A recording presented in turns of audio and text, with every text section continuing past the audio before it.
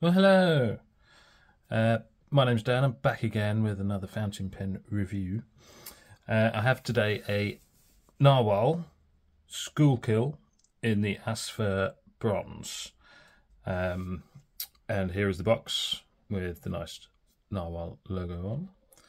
Take the box apart and you have user manual, standard, and a pen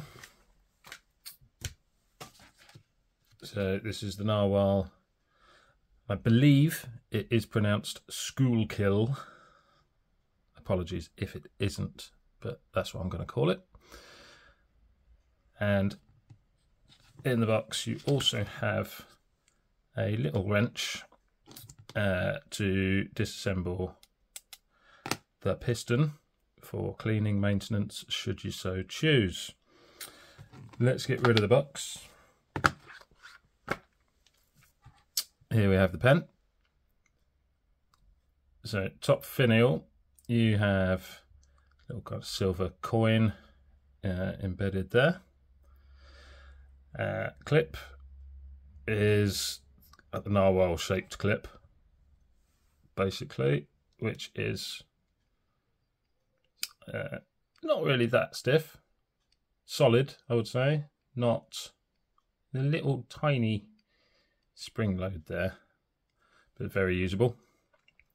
Uh, piston turning knob is carrying on with the resin. And here you have the ink window. So the resin, this is the Asfur bronze finish. And I think it's lovely. So there's lo lovely bits of swirling uh, depth and different different colours, patterns in there. Uh, the advantage of this sort of resin, if you're a kind of person who likes to match up their ink colours to your pen finish, you've got a few options here. You can go with the kind of light blue, got the orangey. Um, I mean, even you can you can get into teals, greens, or if you're the type of person who doesn't really care and sticks whatever ink you like in your pen. Fair play to you. Um, cap is a screw cap and unscrews in. One, two, two. Call it two. Um, then you have a number six size steel nib, plastic feed. So on the nib, see there, you got the Narwhal logo again and uh, a bit of scroll work. These nibs are uh, unscrewable nib units, so if you wanted to replace or swap around your nib grades, uh, you can just unscrew the nib unit and pop a different one in, new one in. Um, if you do that, you probably want to stick a bit of silicone grease on your threads just to make sure that that doesn't leak. Uh, piston filling pen, piston turning knob. I won't use it right now because it's got some ink in and here is your ink window. You can post the cap but it's just going to post onto that piston knob. So A, you want to be careful that you don't turn the piston knob. And B, I mean, it's it's not drastically insecure, but I wouldn't, it's not brilliantly secure either, to be honest, and it makes it very long. Um, a little bit back weighted, possibly. If you absolutely have to post your pens, you can, but careful, and it is does make it on the long side.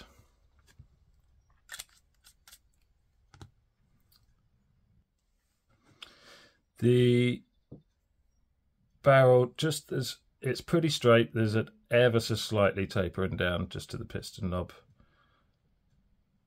I Don't know if you can see it, but it's literally about a millimeter taper from the ink window down to your end there. And section, So these th screw threads are very nice. You don't barely feel them at all, depending on where you want to grip that um, section. Does taper down and then just flares out here, which will stop your fingers rolling onto your nib. Very nice.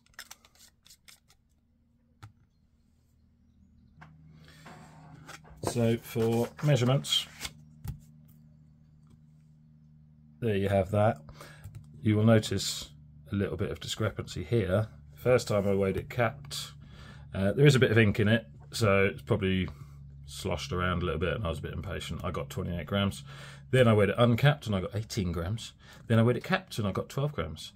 And I went, hmm, that doesn't add up. So I capped it again and put it back on and I got 30 grams. So either rubbish scales and impatience, both, etc. Anyway, so that's the largest point, as I say. So barrel, about 13 there, about 12 at the end, just ever so slight taper down section.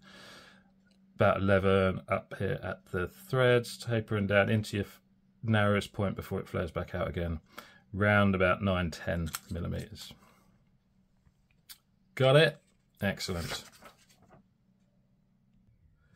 So moving on to a bit of a size comparison. Here you have and I will Schuylkill, hope, next to the Lamy Safari. You've got the Jinhao X159, Leonardo Momento Zero Grande, Lamy 2000. So it's on the larger size, uh, certainly for length, and medium girth. What do you think? Medium girth? Yeah, go with that. Um, it's a good size pen in the hand if you like um, semi-large, larger size pens, um, and a decent weight as well.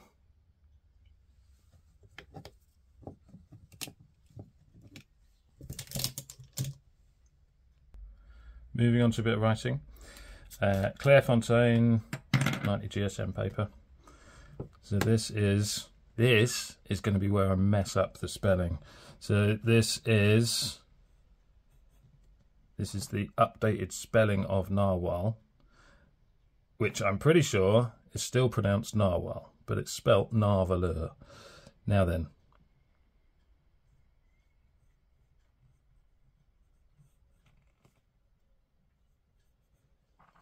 I really hope that's right. I forgot to look it up, if I'm honest. And I'm going to copy the Schuylkill off the box because I've had this pen quite a while now and I still can't spell it off the top of my head. So, shoe. Oh, I've messed it up already. Shoe. Didn't see that right.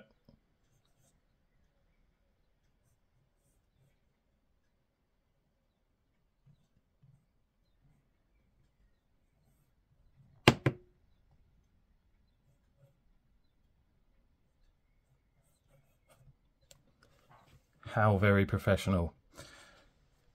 kill or school kill. Whatever you prefer.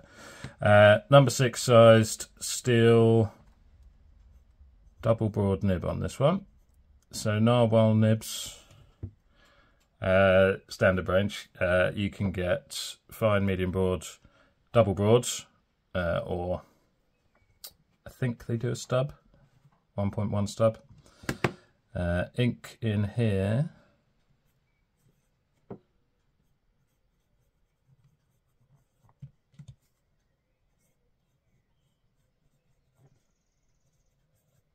Here's Diamine Marine.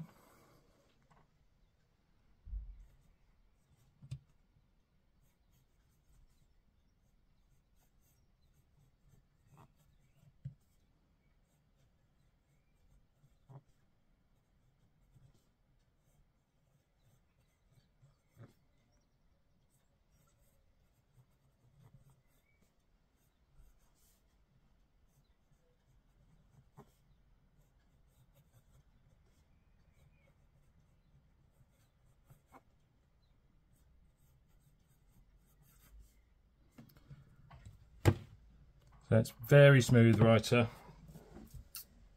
Uh, this is my second narwhal nib. Uh, I've also had a medium and that was equally smooth, obviously with the double broad. Um, you put in a bit more ink down so it, it does glide very nicely.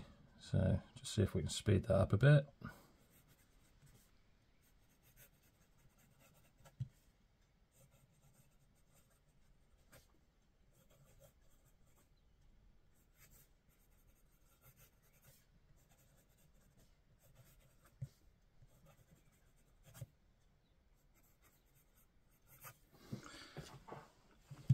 You can see that keeps up very nicely. Little tiny skip there possibly. Could have been me to be honest. Um, but I never have any issues with this starting up or keeping up. Um, as far as line variation goes, this is no pressure. So you can get a pretty round line there um, with the double broad tipping. Can I squeeze any out? I mean, it's already a double board, but you can fatten that up just a little bit. There's not a nail, but um, still on the stiffer side. You do get, uh, I was going to say you do get a little tiny bit of natural variation there, but not loads. Reverse.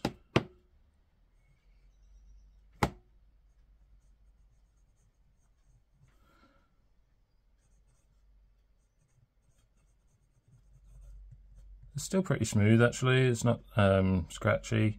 You can get fine and extra fine to extra fine out of that. And that keeps going reasonably well. So not bad if that's your thing.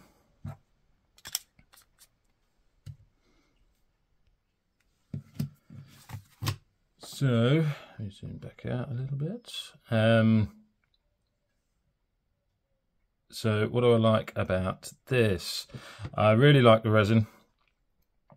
Uh, I think it's a it's a lovely swirling pattern with a good combination of colours, which is uh, right up. Sorry, hang on. Just going to slide that back in for a bit of aid to focus. Um, yeah, nice resin colours swell, which is right up my alley, I was going to say. Um, piston filler, so you get um, slightly larger ink capacity than your cartridge converter. Uh, haven't measured it, but you know, kind of getting up to a milliliter and a half for your standard piston. Going to be in there somewhere. Um, screws off two turns, nice. Um, I like this section, it fits nicely in my hand. As I've mentioned before, I'm not a serial poster anyway, so that is good length for me in the hand there. Um, and fits nicely. It's it's nicely weighted, very comfortable pen to hold. Uh, I mentioned the screw in, screw out nib unit, which is handy, and also you get the tool to uh, disassemble the piston. So for cleaning wise, I know sometimes a piston filler can be a little bit more of a pain to clean than say a cartridge converter. Uh, but cleaning wise, if you wanted to deep clean, uh, at some stage you could take the piston off and even take the nib unit out and literally just flush through the entire barrel, um, which I have done and reassembled, no problem at all. And um, yeah, that get you a good a good clean if you wanted to do such things. Um, it's a good all-round pen. The price is um, so in the UK you can get these for anywhere from forty to fifty pounds, depending on where you go. Perhaps what finish, uh, etc. Um, so that's a decently priced pen for what you get. You've got your piston filler, your range of nibs, swappable nibs. Um, the nib writing experience on the two narwhal nibs, including this one that I have owned, is very smooth. There's not a great amount of feedback, so if you like a bit of feedback, just something to consider. Um, it's a very smooth writer, um, and this double broad is very nice. And I'll tell you what I did forget to do.